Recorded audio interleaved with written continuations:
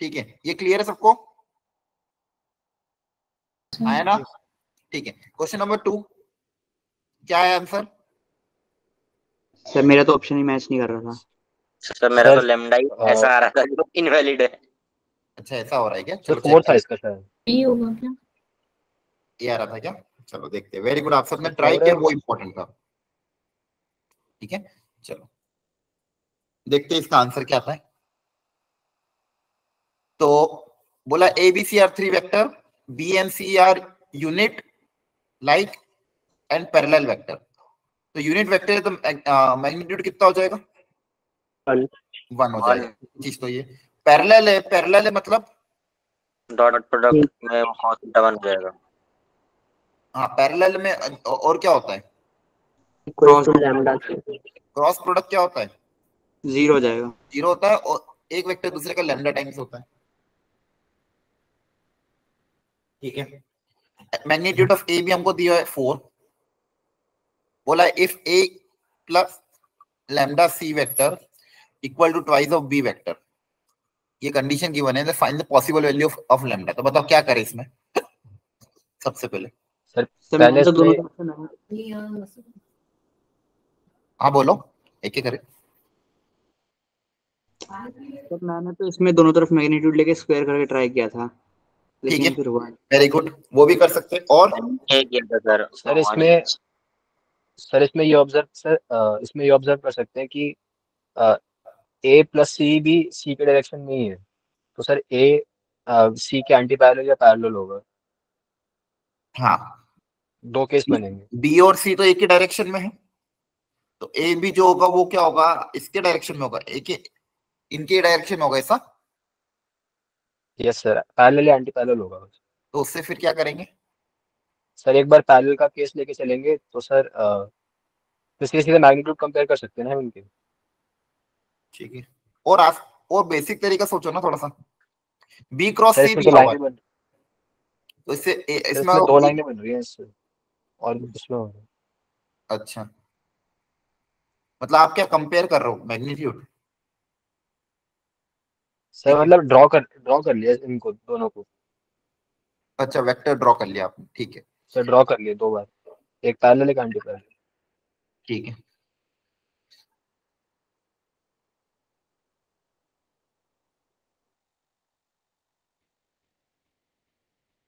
और मैग्नीट्यूड का स्क्वायर करे तो उससे कुछ रिलेशन आ रहा है क्या?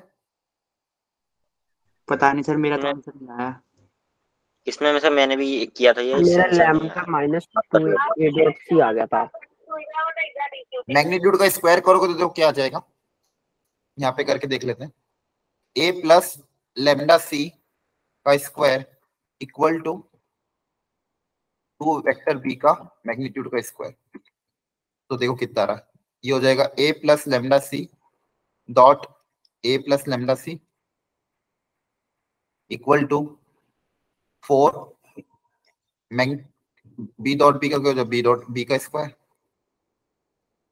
ये आ जाएगा मैग्नीट्यूड ऑफ़ ए का square plus lambda times A dot C plus lambda times C dot A plus lambda square into magnitude of C का whole square equal to four times magnitude of B का square यहाँ तक तो आ गए। तो यहाँ से आपके पास क्या आएगा? वैल्यू तो सारी पता है आपको मैग्नीट्यूड ऑफ़ ए बी और सी तो वन है मैग्नीट्यूड ऑफ़ ए फोर है। तो कितना आ जाएगा? Sixteen plus A dot C कैसे निकालोगे?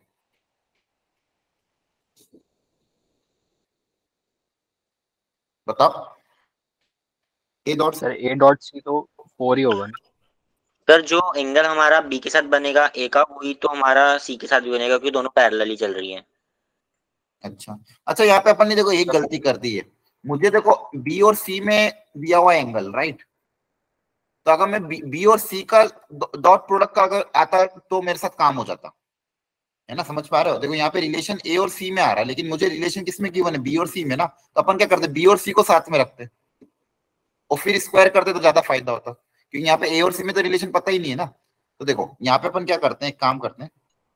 लेमडा सी को उधर ले जाते हाँ। लैम सी को बी के साथ रखते हैं फिर स्क्वायरिंग करेंगे क्योंकि बी और सी में मुझे पता है एंगल कितना है ठीक है? चलो वो ट्राई करके देखते हैं। तो A plus lambda C equal to two भी दिया हुआ है ना?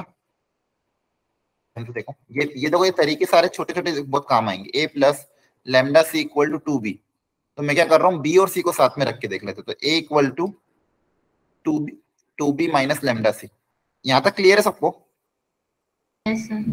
अब अपन मैग्नीट्यूड का स्क्वायर अगर करें, ठीक है तो ए का मैग्नीट्यूड तो मुझे पता ही कितना है? फोर है। तो फोर का स्क्वायर कितना हो जाएगा? सिक्सटीन। और यहाँ पे आ जाएगा two B minus lambda C dot two B minus lambda C.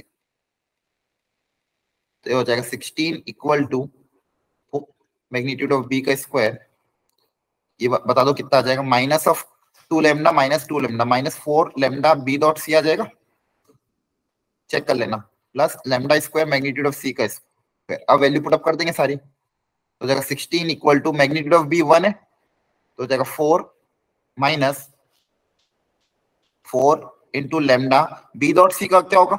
Magnitude of B into magnitude of C into इनके बीच में एंगल कॉस ऑफ़ एंगल वो कितना होगा? वो भी वन होगा. वन होगा ना? Cos theta cos zero degree one होता है ना? पैरेलल है तो.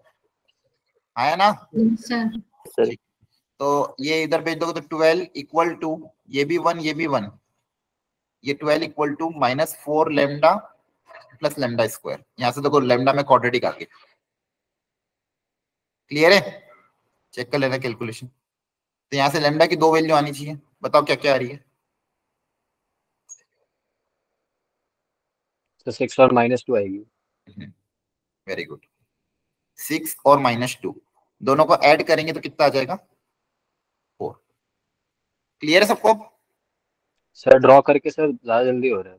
हाँ हो जाएगा कोई दिक्कत नहीं ड्रॉ करके भी कर लेना क्योंकि ए बी सी तीनों के तीनों पैरेलल होंगे ड्रॉ करके भी आ जाएगा। बाकी ये बेसिक मेथड नहीं समझ में आया नहीं क्लिक करा तो ये मेथड तो आपको याद रखना ही है। क्या सिखाया मैंने यहाँ पे कि बी और सी के एंगल में रिलेशन दिया हुआ था इसलिए बी और सी को साथ में स्क्वायर कर दिया। ये जो मेथड है ना ये दूसरे क्वेश्चन में भी काम आएगी। क्या ये समझ में आ रहा है? यस अगर सर पैरेलल नहीं भी होते अगर आपको एंगल थर्टी डिग्री भी दे दे तो भी हम यहाँ पे यूज़ कर लेते हैं राइट बोलो। यस ठीक है तो ये तरीका याद रखना। चलो आगे बढ़ते हैं। क्वेश्चन नंबर थ्री अच्छा रिकॉर्डिंग ऑन कर दी है ना मैंने? यस सर थ्री में बोला गया P and Q are the two diagonals of the quadrilateral और ये। तो अगर पी और क्यू क्वाड्रिलेटरल के डायगनल है तो उनके एरिया का फॉर्मूला याद है किसी को अगर पी और क्यू डायगनल होते हैं तो। हाँ Sir, आप one by इनको two one P cross cross one Q. Cross देते हाँ एक मिनट वापस बताना मुझे। एरिया ऑफ़ क्वाड्रिलेटरल अगर उसके डायगनल पी और क्यू है तो? Half P cross Q half P cross Q ठीक है। यही होता है? मुझे नहीं पता आप बताओ। यस सर सर इसका वन बाई टू आ रहा था ठीक है तो कर लेते हैं। हाँ, तो इसका मैग्नीट्यूड ना हाफ़ प्री क्रॉस क्यू का क्या लोगे? मैग्नीट्यूड लोगे तो हाफ़ पी क्रॉस क्यू का मैग्नीट्यूड क्या होगा? Magnitude of P into magnitude of Q into sine theta तो ये वैल्यू हमको निकालनी है। क्या क्या दिया आप देखो ध्यान से। बताओ क्या करेंगे? तो आपको क्या क्या दिया है? पी माइनस पी और क्यू का मैग्नीट्यूड तो पता ही है मुझे। तो half into one into root two into sine theta तो कैसे भी करके बस थीटा निकालना है। थीटा निकल जाएगा तो काम हो जाएगा। ठीक है? तो आपके अब जो रिलेशन गिवन है वो क्या गिवन है? Magnitude of P minus Q equal to P dot Q तो बताओ कैसे करें हम? सर स्क्वेयरिंग कर दी दोनों साइड स्क्वायर स्क्वायर कर दोगे अच्छा। तो अच्छा ये मैं ये पहले इसको मैं लिख देता हूँ magnitude of P minus Q equal to ये क्या हो जाएगा? Magnitude of P into magnitude of Q into क्या आएगा? Sine theta sorry cos theta right है ना? सर हाँ बोलो। सर पी डॉट क्यू को हम एक्स मान लेते हैं और फिर दोनों तरफ़ स्क्वेयरिंग कर लेते तो हो जाएगा क्वाड्रेटिक बन के सॉल्व हो जाएगा। हाँ एक ही बात है ना। P into Q into cos square theta आएगा। ये सर ठीक है यहाँ इसका स्क्वायर कितना आएगा देख लो।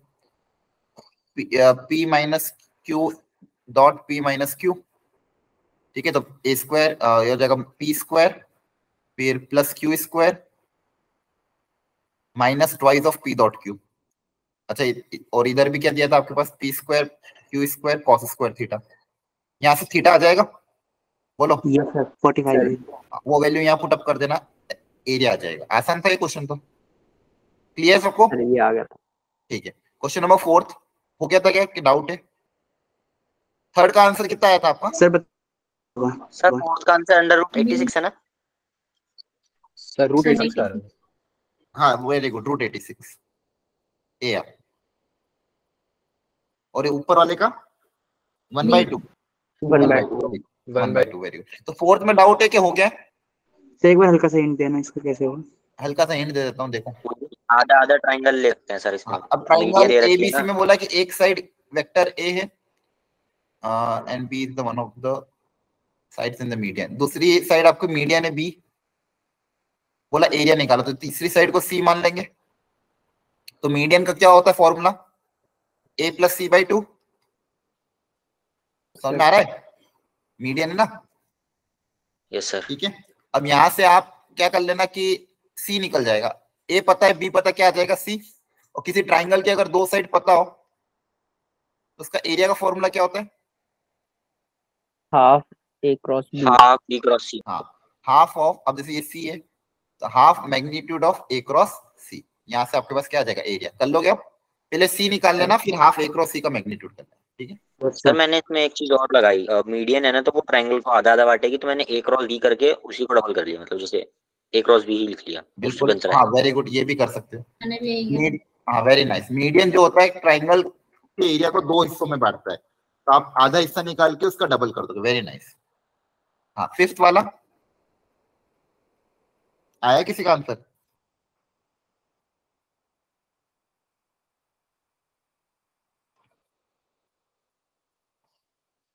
एनीवन ये हेक्सागोन वाले क्वेश्चन जनरली आपने देखे होंगे। थोड़ा सा अलग क्वेश्चन था ये। चलो इसको ट्राई करते हैं। अच्छा क्वेश्चन था। बोला गया एक रेगुलर हेक्सागन है। सर इसका two by three B A plus B है हाँ ऑप्शन ए से ही आ रहा है। रेगुलर ए प्लस बी नहीं नहीं नहीं। ऑप्शन ए इसका करेक्ट आंसर है। इसका आंसर की मैं ए दिया पता नहीं कैसे आया। देखते इसको ट्राई करते हैं। ओ ए हेक्सागन बनाना है ना।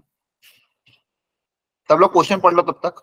O A B C D ई आज थोड़ी तबीयत ठीक नहीं है बच्चों, है ना? तो हो सकता है पूरी क्लास देखते हैं कितना हो पाता है। जितना कोशिश कर रहा हूँ, जितना हो पाएगा, उतना पढ़ा पाऊँगा, है ना? तो देखो यहाँ पे O A B C regular hexagon दिया है। ओ ओरिजिन है आपका, ठीक है? Position vector of the A and B दिया हुआ तो इसका position vector A vector given है। और बी का बी वेक्टर गिवन बने। पोजीशन वेक्टर का मतलब याद है? क्या तो होता है? यस सर ओरिजिन से वेरी गुड ओरिजिन से उसको ज्वाइन करते तो वो उसका क्या होता है? पोजीशन वेक्टर तो ये वेक्टर ए है ये आपका वेक्टर ए है और ये आपका वेक्टर बी है। ठीक है यहाँ तक। तो बोला find the position vector of the intersection of OB and AC OB और एसी का पोजीशन वेक्टर का तो ओबी तो ये रहा एसी ये रहा। इनका जो इंटरसेक्टिंग पॉइंट है उसका पोजीशन वेक्टर निकालना है। तो इसको कुछ नाम दे दो। ए बी सी डी ई हो गया ना? जी नाम दे दो चलो। तो इस ये इसका ओजी ये मतलब जो इंटरसेक्टिंग पॉइंट है उसका अपन को पोजीशन वेक्टर निकालना है। ठीक है? क्या समझ में आ रहा है? यस सर ठीक है चलो। देखो ऐसे क्वेश्चन ट्राई करने का तरीका क्या होता है? अच्छा मेरे को ये बताओ आपको जो मैंने वेक्टर्स में पढ़ाया था हेक्सागन की एक प्रॉपर्टी बताई थी याद हो तो। वेक्टर्स में आपको जो मैंने क्लास में क्वेश्चन कराया था जेई मेंस में जैसे मान लो ये हेक्सागन है ए बी सी सबका सम ज़ीरो हो जाता है। नहीं सबका सम तो ज़ीरो होता है वो तो ठीक है A B C D E F जैसे मान लो ये वेक्टर ए है इसी के पैरेलल ये जो वेक्टर होता है ये कितना होता है? इसका डबल हाँ इसका डबल होता है ये प्रॉपर्टी होती है इसे ट्राइंगल बना लो ना इस तरह से प्रूफ प्रूफ होता है ठीक है? तो ये मैंने क्लास में क्वेश्चन कराया था अगर आपको याद हो डीपीपी में भी दिया था बहुत पहले यस ठीक है? तो ये अगर वेक्टर ए है तो इसके जो सामने वाला होता है ये टू ए होता है। इसको याद रख लेना नहीं याद हो। ये ज्योमेट्रिकल प्रॉपर्टी होती है। याद रख लोगे क्या? प्रूफ अभी नहीं करूँगा मैं। क्लियर है? सर तो अगर ये वेक्टर ए है तो इसके जस्ट सामने वाला टू ए होगा। Clear sir. ठीक है। अब देखो यहाँ पे अगर अपन सोचे तो यहाँ पे कौन होगा पैरेलल यहाँ पे कोई दिख रहा है parallel A B A B का पैरेलल कौन हो जाएगा? ओसी तो ध्यान से देखो। ताकि ये ये देखो जी जी निकालना है ना। तो मुझे ये बताओ ए बी वेक्टर कितना है? बी माइनस ए हाँ ए बी वेक्टर बता सकते हो क्या? देखो ये आपका ए वेक्टर है ये आपका बी वेक्टर है राइट तो this plus this equal to this हो जाएगा तो A B vector B minus A हो जाएगा बोलो। सर तो ओसी वेक्टर कितना आ जाएगा? Twice of B minus A क्या यहाँ तक समझ में आ गया? यस सर ठीक है वेरी गुड अब देखो, करना क्या बेसिकली ये जो पॉइंट जी है, ये किसका इंटरसेक्टिंग पॉइंट है? एसी और ओबी का इंटरसेक्टिंग पॉइंट है। पॉइंट जी जो है, वो एसी और ओबी का क्या है? इंटरसेक्टिंग पॉइंट तो मैं यहाँ पे क्या कहूँगा अब देखो, ये पॉइंट है ना, इसको मैं लाइन के फॉर्मेट में लिखूँगा। अब G is the intersecting point of किसका किसका? OB and OB and AC ठीक है? तो अगर ओबी और एसी की लाइन की इक्वेशन लिख के उन दोनों को मैं इक्वेट करूँ कभी वैसे इंटरसेक्टिंग पॉइंट निकालना हो तो हम ऐसे ही करेंगे। इनकी क्या लिख देंगे? लाइन की इक्वेशन तो मुझे बताओ equation of line OB vector format में लाइन की इक्वेशन बताओ। लाइन ओबी की इक्वेशन लाइन लाइन की इक्वेशन निकालने का तरीका क्या होता है बताओ? आर वेक्टर इक्वल टू बताओ क्या होता है? बोलो। A plus lambda A plus lambda B अब देखो ये एक तो पॉइंट इस पे ओरिजिन है। हेलो सर एक पॉइंट तो इस लाइन इस लाइन पे एक पॉइंट ओरिजिन है उसका पैरेलल वेक्टर अपन बी वेक्टर मान ले। यस सर है ना? तो. लाइन लाइन ओबी की इक्वेशन क्या हो जाएगी? Lambda times B vector A vector तो ज़ीरो हो गया। Yes sir A plus lambda B में ए वेक्टर तो ज़ीरो मान गया। ये लाइन ओबी आ गया। अब दूसरी लाइन है एसी एसी या सी जो भी निकालना। लाइन एसी इसकी भी क्या हो जाएगी? आर वेक्टर इक्वल टू अब इस पे से कोई पॉइंट पता है क्या अपन को इसका पॉइंट वेक्टर पता है ए ए वेक्टर राइट इस पे पॉइंट कौन सा पता है? ए वेक्टर तो ए प्लस लेमडा यूज़ कर लिया तो कुछ और यूज़ कर लेना म्यू टाइम्स इसका पैरेलल वेक्टर अब ये वेक्टर एसी वेक्टर बताओ कितना होगा? अब देखो एसी निकालने के लिए ओसी है मेरे पास? यस सर सी का position vector 2 B minus A होगा ना? हाँ। तो देखो ओसी है मेरे पास ये है। तो एसी निकालने के लिए ओसी में से ओ ए माइनस कर देंगे। आया. ना? एसी वेक्टर देखो यहाँ पे लिख देता हूँ। एसी वेक्टर क्या हो जाएगा? C vector minus A vector तो सी वेक्टर कितना है? टू बी माइनस सी और ए वेक्टर कितना है? ए वेक्टर के बराबर तो ये एसी आ जाएगा। क्या ये बात समझ में आती है सबको? हेलो? आ रही समझ में? ठीक है। तो ये आ जाएगा आपका एसी वेक्टर तो ये म्यू म्यू के साथ आ जाएगा। तो म्यू के साथ यहाँ पे नीचे लिख देता हूँ। A plus mu times two B minus A होगा ना? माइनस ए हाँ बोलो। जो सी है वो ए होगा शायद। बी माइनस ए तो लिया है। जो सर आपने सी हाँ, लिख दिया ना। हाँ। सॉरी ए है ये। तो ये कितना आ जाएगा फिर? ये तो अच्छा ये सिंप्लीफाई हो जाएगा फिर तो। कितना हो जाएगा? माइनस टू चलो जो भी आएगा। ये समझ में आ गया यहाँ तक? यस सर यहाँ पे ए लिख देना ठीक है। तो आपके पास ओबी लाइन आ गई एसी लाइन आ गया। अब इन दोनों का इंटरसेक्टिंग पॉइंट कौन है? जी है इन दोनों का इंटरसेक्टिंग पॉइंट कौन है? जी अब इन दोनों को साथ में सॉल्व कर लेते हैं। इन दोनों को क्या साथ, साथ में सॉल्व कर लेते आर एक जनरल पॉइंट होता है। आर क्या होता है? Point on the line R is a general point on the line अब इन दोनों को इंटरसेक्टिंग पॉइंट सॉल्व करना इन दोनों को क्या लिख देते? साथ में लिख देते हैं। इन दोनों को अगर साथ में लिखोगे तो क्या आ जाएगा देखो? इन दोनों को साथ में लिख रहा हूँ। तो lambda times B vector equal to A plus mu plus mu times 2b vector minus 3a vector sir? हाँ बोलो।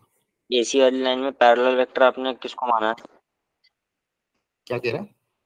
एसी की लाइन के लिए पैरेलल वेक्टर किसको माना है आपने?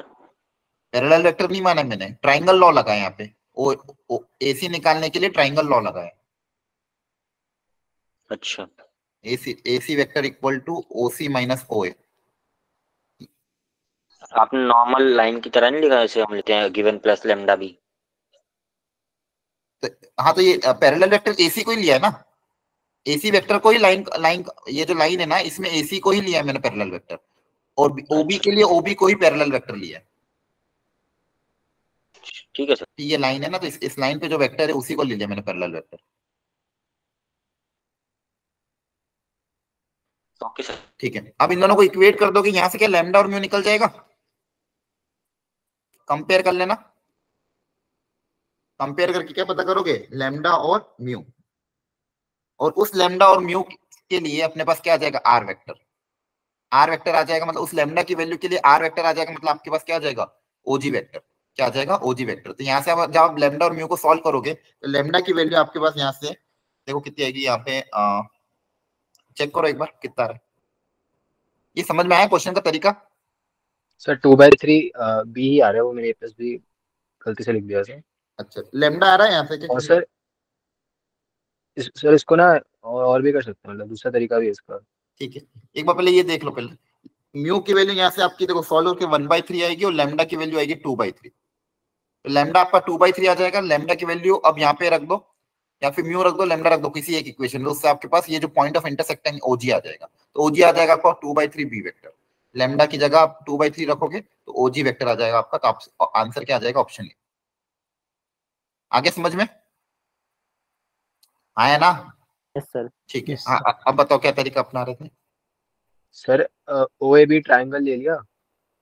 ओ ए बी हाँ। यस सर सर उसमें ना O A B angle 120 degree होगा। O A B one twenty degree होगा ठीक है। सर ए ओ बी और A B O thirty degree हो गई। हाँ ठीक है। तो सर अब इसको यूज़ करके ना ज्योमेट्री यूज़ करके रेशियो निकाल लिया ओ बी और B vector O G vector का। साइड का। ठीक है। अच्छा वहाँ से टू बाई थ्री ठीक है। सर सर ट्रिग्नोमेट्री थी मतलब सेक्शन फॉर्मूला अप्लाई कर लिया ठीक है।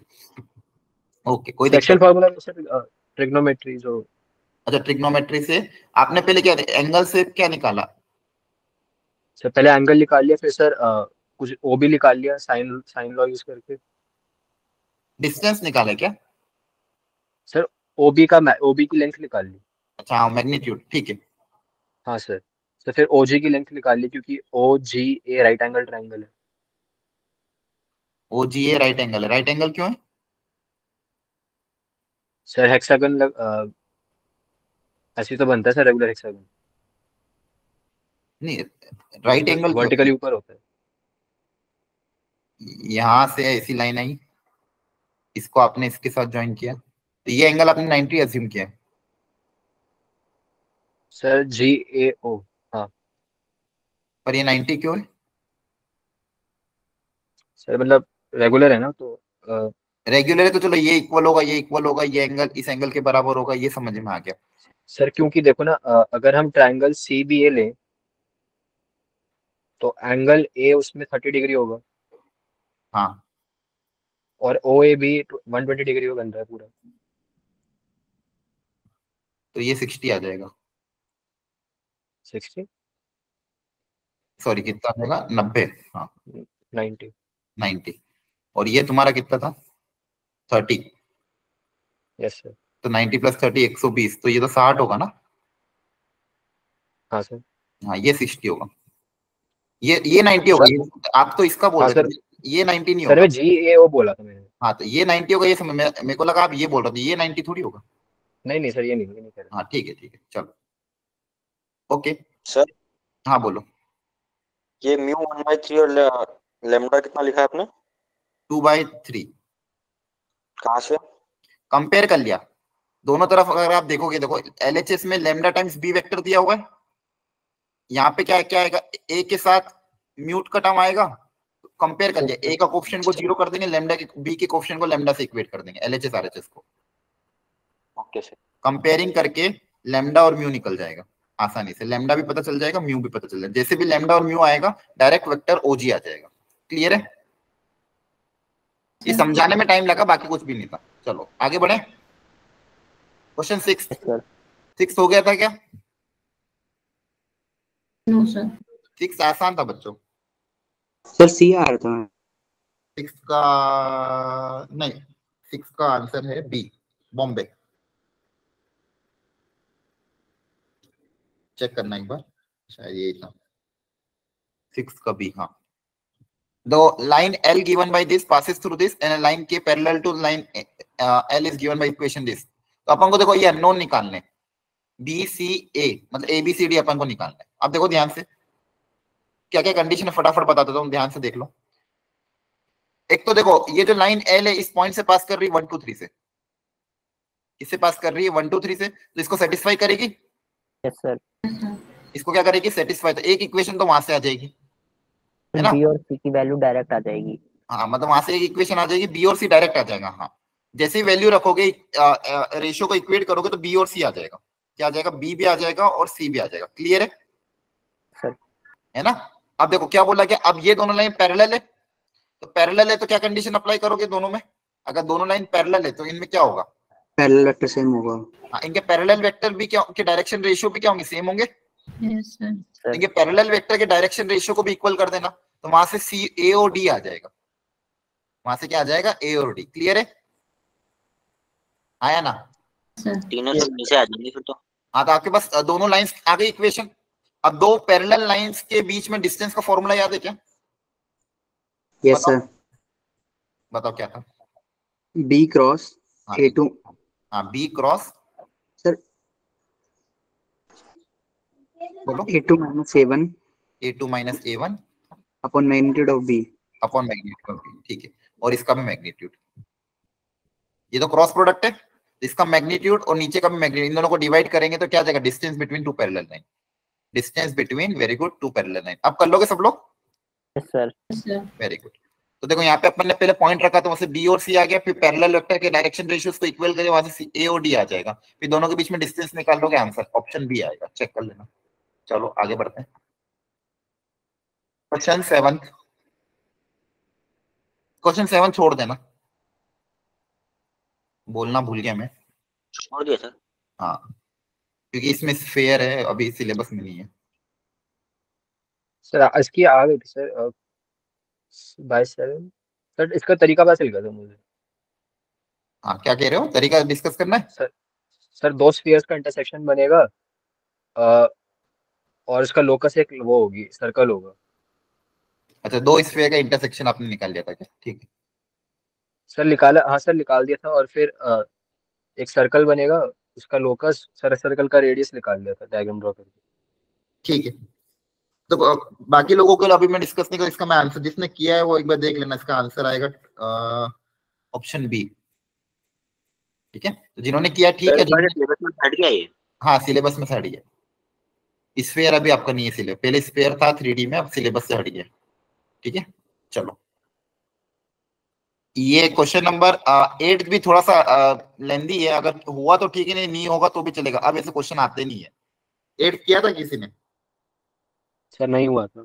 ये ऐसा हाँ। नहीं हुआ। एट छोड़ दो बच्चों के लिए ठीक है? तो ये दोनों ही क्वेश्चन हटवाने थे मुझे पर मैं बोलना भूल गया आपको।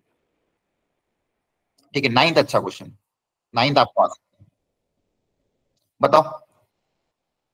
किया नाइन्थ नाइन्थ का आंसर क्या आ रहा है?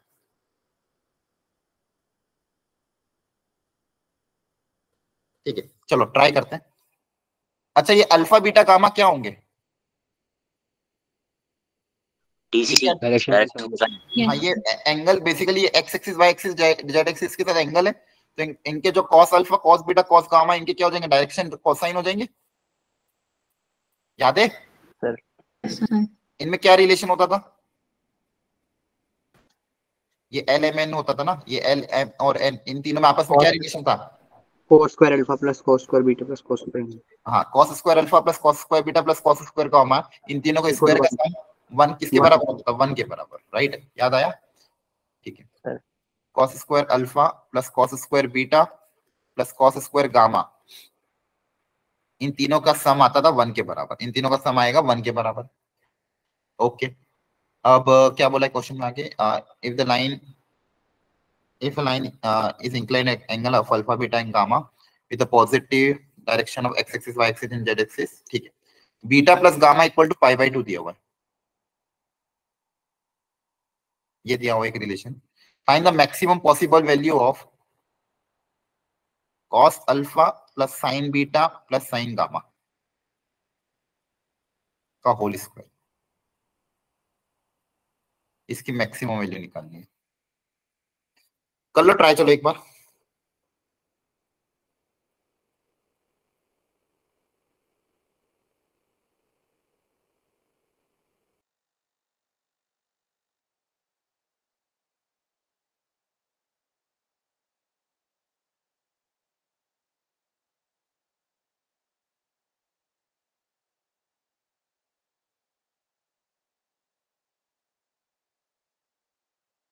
तो साइन बीटा के जगह कॉस गामा लिख देंगे।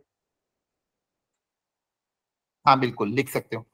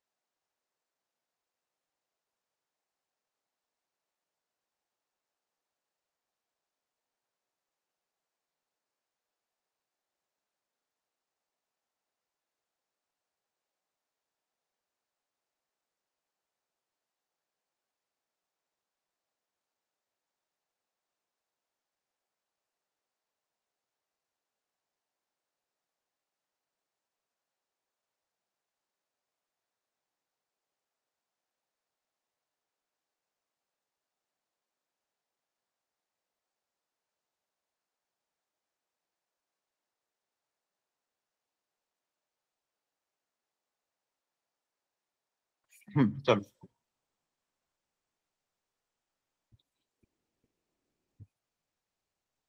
देखो, alpha plus beta plus gamma की वैल्यू नब्बे डिग्री है। मतलब कॉम्प्लीमेंट्री एंगल एक दूसरे के, ठीक है? तो एक का कॉस दूसरे के साइन के बराबर होगा।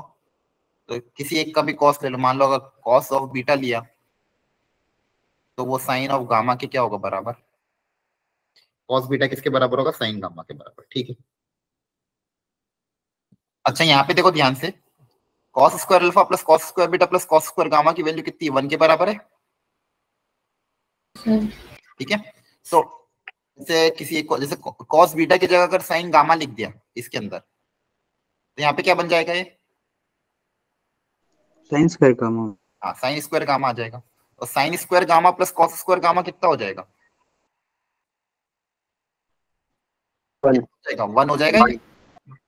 ये? वन उधर जाके क्या हो जाएगा? माइनस तो यहाँ से कॉस स्क्वायर अल्फ़ा कितना आ जाएगा? डी ज़ीरो आ जाएगा? सर मतलब अल्फ़ा कितना होगा? 90 डिग्री अल्फ़ा तो आ गया। अब भले यहाँ पे रख दो आप। तो कॉस 90 कितना होगा? ज़ीरो? ये तो ज़ीरो ही हो जाएगा क्योंकि कॉस अल्फ़ा के ज़ीरो दिया अपने पास बचा क्या सिर्फ़ sine beta plus sine gamma का होल स्क्वायर इसकी हमें क्या निकालनी है? Maximum value. तो ए प्लस बी का होल स्क्वायर अप्लाई कर दोगे ए स्क्वायर। कर लोगे? सर इस साइन वाइन को हम कॉस कॉस में रख लें और फिर इसका स्क्वायर खोल लें। हाँ कर लो कॉस में कर लो देख लो। आपके पास ये रिलेशन है अब तक plus two sine beta sine gamma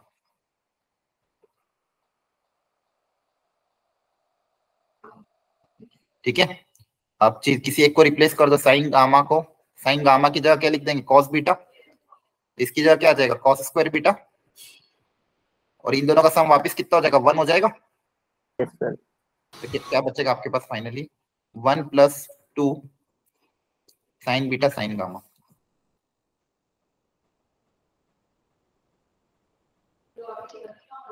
इसकी मैक्सिमम वैल्यू पता करनी है।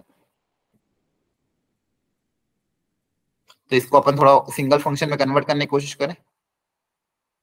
पर साइन बीटा साइन गामा और कुछ रिलेशन है क्या? साइन बीटा और साइन गामा साइन गामा की जगह क्या लिख देंगे? कॉस बीटा लिख देंगे। साइन गामा की जगह वापस क्या लिख देंगे? कॉस बीटा ये क्या हो जाएगा? One plus sine two beta clear है यहाँ तक?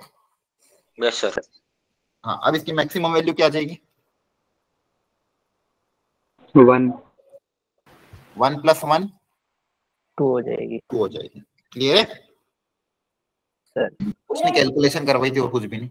इस इस रिलेशन का यूज़ करवाया था कि देखो दो दो का सम 90 डिग्री है तो एक का कॉस दूसरे के साइन के बराबर होगा। जैसे यहाँ पे वैल्यू पुट अप करी कॉस अल्फ़ा आ गया। वापिस से यहाँ वैल्यू पुट अप करी सिंप्लीफाई हो गया। क्लियर है? ओके चलो इस पे आ जाते हैं। तो ये तो बीट- sin बीटा वन कैसे हो गया? बीटा की वैल्यू निकाल ली क्या आपने?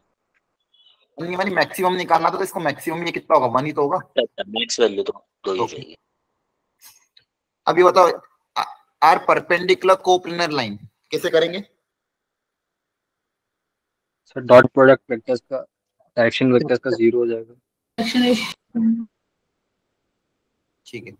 एक तो बोला है आर परपेंडिकुलर एंड कोप्लेनर मतलब एक टोटल प्रोडक्ट लग सकता है सर। प्लेनर के लिए सर स्क्वायर प्रोडक्ट ज़ीरो हो जाता है।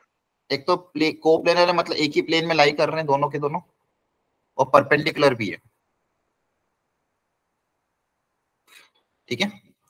L one and L two तो कैसे सॉल्व करेंगे? एक तो कोप्लेनर कोप्लेनर की क्या कंडीशन होती थी? बॉक्स प्रोडक्ट ज़ीरो इसका बॉक्स प्रोडक्ट गिवन वेक्टर और इनके पैरेलल वेक्टर के स्क्वायर मतलब पैरेलल वेक्टर का क्रॉस इनके ए गिवन वेक्टर के डॉट के साथ ज़ीरो हो जाता है।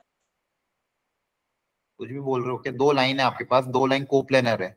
वो तीन वेक्टर अलग अलग हो तो उनका बॉक्स प्रोडक्ट ज़ीरो होता था। यहाँ पे दो लाइन गिवन है। दो लाइन की कोप्लेनरिटी की कंडीशन क्या आई थी? दो लाइनें तो हमेशा प्लेन में होती हैं। दो वेक्टर हमेशा प्लेन में होते दो लाइन प्लेन में नहीं होती है। दो लाइन स्क्यू भी तो होती है। बिना रिवाइज करके बैठे हो आज क्लास में सब। A two minus A one का dot B one cross B two के साथ ये ज़ीरो आता था। याद आ रहा है? अरे हाँ या ना? यस सर यस सर तो बॉक्स जो आएगा वो इसका बॉक्स आएगा। A two minus A one का बी वन बी टू के साथ। ये बोल सकते हो आप इसका बॉक्स ज़ीरो होगा। ठीक है? तो एक कंडीशन तो ये हो जाएगी कि दो लाइंस को प्लानर है तो A two minus A one dot B one cross B two equal to zero पहली कंडीशन अब परपेंडिकुलर है तो परपेंडिकुलर की क्या कंडीशन अप्लाई करोगे? बोलो। जल्दी बताओ इतना टाइम नहीं लगना चाहिए। दोनों का डॉट प्रोडक्ट क्या कर देना? ज़ीरो दोनों का डॉट प्रोडक्ट क्या कर देना? ज़ीरो तो B one dot B two zero हो जाएगा दूसरा A two minus A one B one cross B two इसका बॉक्स प्रोडक्ट क्या हो जाएगा? ज़ीरो इन दोनों को सॉल्व करके जो भी पूछा निकाल लेना। क्लियर है? आया ना? ठीक है। ये क्वेश्चन रखते हैं इलेवंथ वाला।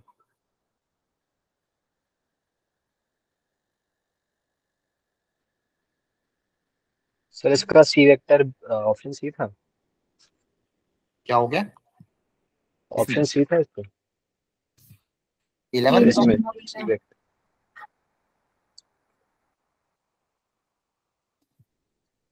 इलेवन का हाँ ए और सी एक ऑप्शन से फिर से आ जाएगा। ये आ। रहा है था ठीक है। क्वेश्चन बोला ए पता है बी पता है सी भी है unit vector such that box of A B C takes its maximum value M देखो वो बता बहुत अलग और नया क्वेश्चन है। ए पता है बी पता है सी कोई यूनिट वेक्टर है सच दैट ये जो box of A B C है, ये मैक्सिमम वैल्यू ले। तो एम कितना होगा? कैसे सॉल्व करें? बॉक्स ऑफ़ एबीसी की मैक्सिमम वैल्यू क्या होगी? ये पता करना है।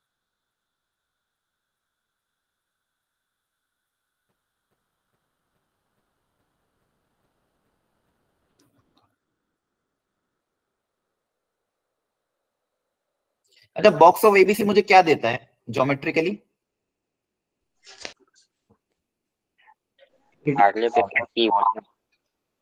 ज्योमेट्रिकली क्या रिप्रेजेंट करता है बॉक्स ऑफ़ एबीसी पैरेलल करके कुछ होता है उसकी वॉल्यूम और? ठीक है चलो चलो अगर मान लो बॉक्स ऑफ़ एबीसी को ओपन करना हो तो क्या आएगा? A dot B cross C ये भी बोल सकते हैं। या तो A one A two Cross B dot C. B cross C ठीक है। तो इसको कैसे सॉल्व करेंगे? A dot B cross C का मतलब क्या हो जाएगा? Magnitude of B into magnitude of C into sine of इन दोनों के बीच में एंगल सपोज़ थीटा ठीक है। अब जब इसका इस ये theta into N cap right यहाँ तक समझ में आ गया? हेलो ये क्लियर है? अब ये एक वेक्टर है ये भी एक वेक्टर है. अब इन दोनों का डॉट प्रोडक्ट लेना है. दो वेक्टर का डॉट प्रोडक्ट लेंगे इसका मैग्नीट्यूड इनटू इसका मैग्नी इसका मैग्नीट्यूड तो ये खुद ही होगा.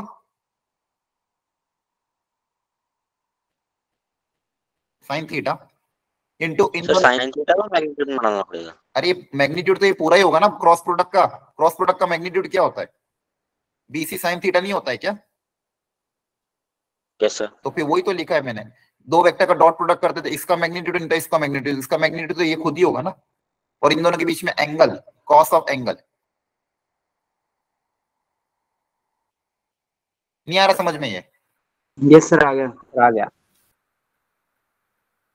A dot B cross C दिया हुआ था इन दोनों का पहले क्रॉस प्रोडक्ट क्या है? क्रॉस प्रोडक्ट क्या होता है? B into C into sine theta N क्या तो ये मैग्नीट्यूड ही तो होता है क्रॉस प्रोडक्ट का बी सी साइन थीटा अब इस वेक्टर और इस वेक्टर का डॉट प्रोडक्ट लिया इस वेक्टर और इस वेक्टर का डॉट प्रोडक्ट कैसे लेंगे? इसका मैग्नीट्यूड इंटू इसका magnitude into cos of the angle between them ये आ गया यहाँ तक। तो ये बेसिकली किसकी वैल्यू आ गई?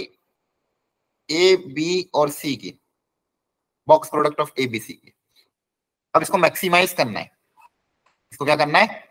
मैक्सिमाइज यहाँ पे देखो तो थीटा और फाइव क्या है? पहले वो देखो। थीटा क्या है? Angle between B and C between B and C हाँ बी और सी के बीच में angle angle between B and C और जो फाइव है वो क्या है? Angle between A and plane of B cross C angle between A and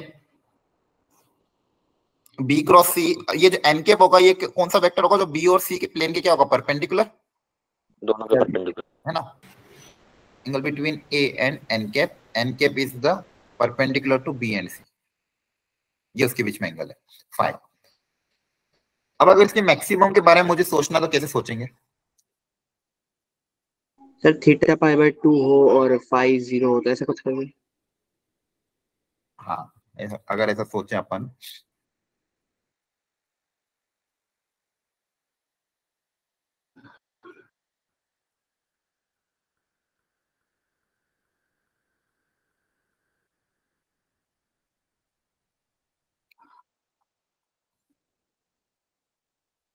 अगर अपन बी को अच्छा मुझे ये बताओ बॉक्स प्रोडक्ट में अगर बी और सी का क्रॉस साथ में क्रॉस ले लेते तो ज़्यादा फ़ायदा होता कि B cross C dot C करता। A cross B dot C अगर कर लेते तो ए और बी में हमको एंगल भी पता था। Sir A cross B dot C से आंसर आ रहा है। हाँ A cross B dot C से करते तो ज़्यादा फ़ायदा होता क्योंकि ए और बी में एंगल भी पता था मुझे।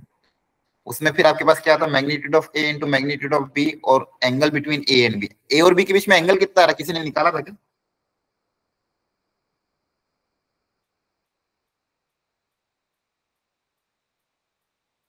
फिर वहाँ से हम मैक्सिमाइज कर सकते थे। ए और बी के बीच में एंगल निकाल के और जो सी होता था वो क्या होता था? सी ए है ये बी है मान लो। अब ये तो फिक्स है। तो इनके बीच में एंगल भी क्या होगा? फिक्स होगा। और इनका ये आ जाएगा एन कैप और जो सी वेक्टर होगा सी वेक्टर आ है। सी वेक्टर को भी अगर अपन ये बोल देते तो शायद मैक्सिमम हो जाता। ठीक है? कर लोगे हो रहा था सवाल किसी ने किया था ए और बी के मान के? हेलो बेटा आपने किया था कोई कह रहा था ना भी किया था मैंने उससे। सर डिटर्मिनेंट से निकाला था। डिटर्मिनेंट में तो फिर तीन अननोन आ जाएँगे। सर फिर उसमें देख ऑप्शन चेक करा था उसके बाद। ठीक है नहीं मैक्सिमम वैल्यू कैसे निकालोगे? सर जो एम आ गई थी ना हमारी वो सी को पहले C X C Y C Z की फॉर्म में लिख दिया मैंने। हम्म हम्म। सर फिर डिटर्मिनेंट सॉल्व करा उसका बॉक्स प्रोडक्ट का। अच्छा। वहाँ से एम आ गया था three into C X plus C Y minus C Z ये वन वन टू है। ये टू माइनस वन वन है। और यहाँ पे आपने मान लो कुछ माना होगा एबीसी मान लिया चलो। एबीसी नहीं तो कुछ और मान लो।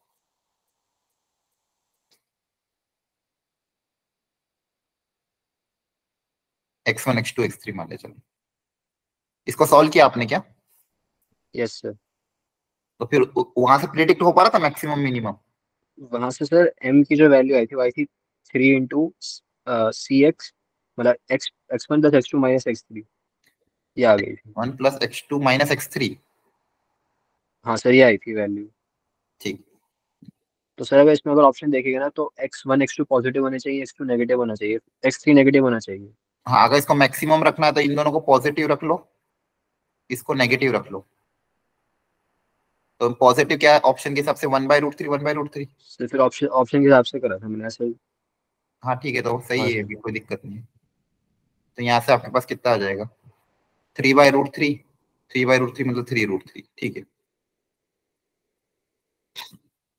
फिर वो तो खैर ऑप्शन से अपन गए। बाकी अगर आपको इसे करना है डायरेक्ट तो आप इसको ओपन कर लेना इस तरह से। A cross B dot C से ओपन करना।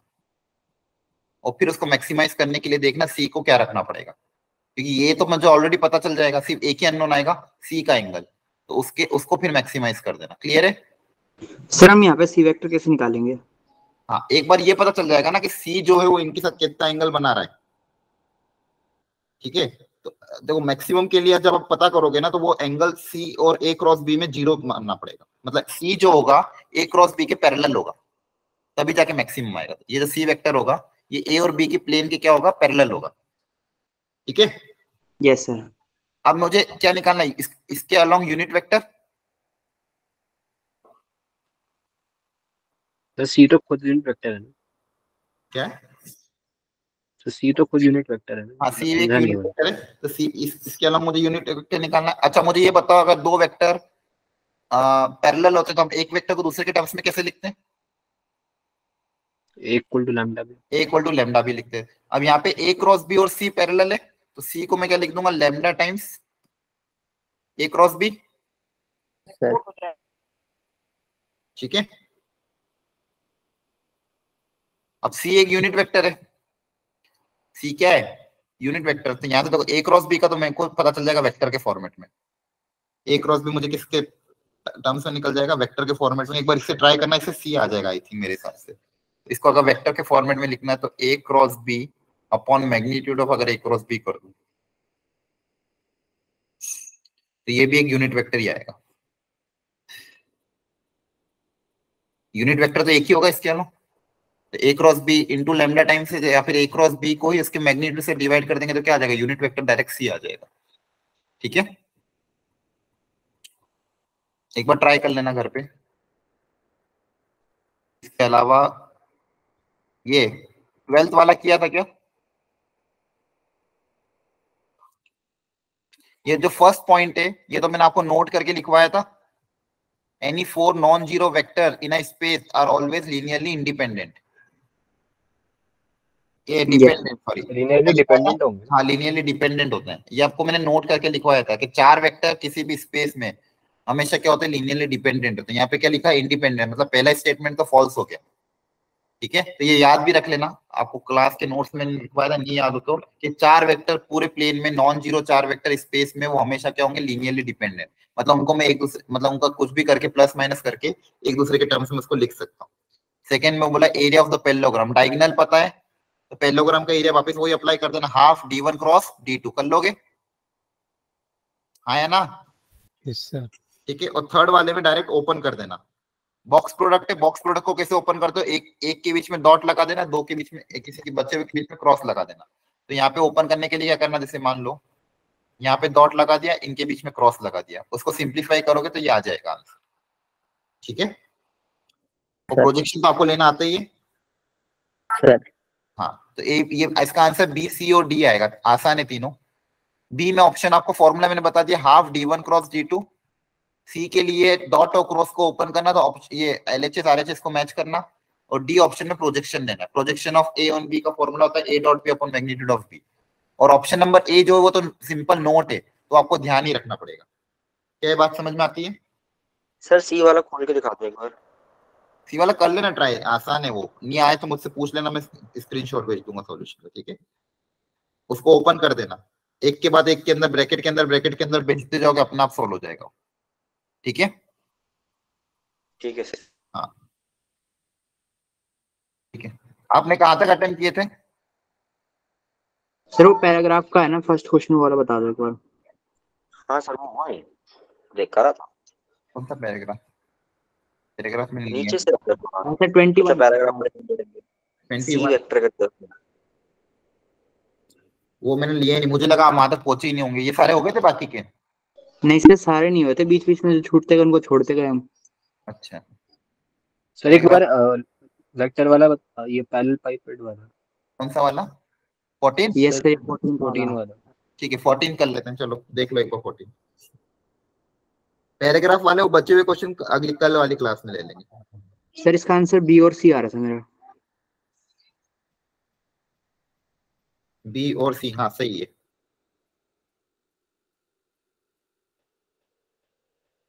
फ़र्स्ट 13 14 नहीं करते बाकी तो कर रहे हैं। तो फोर्टीन में डाउट है क्या?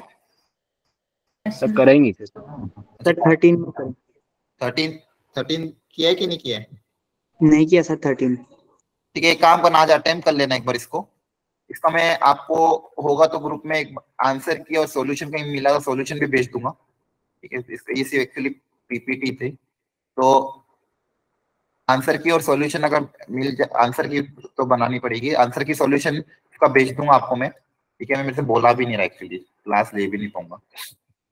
ठीक है तो आपको मैं आज इसके आंसर की और सॉल्यूशन भेज दूँगा। एक बार खुद से एक बार ट्राई कर लेना। अच्छा आपने पीवाई के तो अटेम्प्ट नहीं किए होंगे ना इसके पहले वाले भी? वेक्टर थ्री के खुद से? सर किए।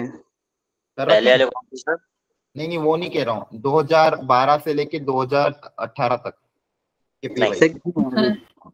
PY सर किए हैं। 2018 17 के किए हैं। ठीक है। तो उसमें से जो जो भी अच्छे अच्छे टाइप के क्वेश्चन होंगे वो कल मैं क्लास में लूँगा ठीक है? कल वाली क्लास में। और ये वाला जो वेक्टर थ्री का असाइनमेंट है ये आप इसका मैं सॉल्यूशन आपको भेज दूँगा आज। तो आप उससे एक बार मैच कर लेना अपने अपने आंसर जहाँ जहाँ भी आप अटक रहे हो। क्लियर है?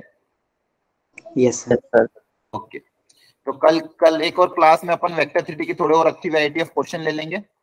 और इनमें आपको जो जो भी डाउट हो वो आप पूछ लेना। क्लियर है? और मुझे बस एक बार है ना क्वेश्चन नंबर भेज देना कि सर ये क्वेश्चन हमको डिस्कस करना है क्लास के अंदर। बाकी हमने सॉल्यूशन से समझ लें ये क्वेश्चन आप डिस्कस करा देना। तो थोड़ा आपका टाइम बच जाएगा। उन्हीं क्वेश्चन को मैं डायरेक्ट ले लूँगा उनका डिस्कशन कर देंगे और जो बाकी जो आपको सॉल्यूशन से समझ में आ रहे हैं उनको आप खुद से अपने एंड पे समझ लेना। ठीक है ना? ओके सर क्लास का शेड्यूल क्या रहने वाला? क्या हुआ? फिजिक्स की क्लास का शेड्यूल क्या रहने वाला सर वही होगा ना आज कल कितनी बजी थी? साढ़े सात थी कि सात बजी थी? साढ़े सात ही थी. हाँ तो साढ़े सात ही होगा.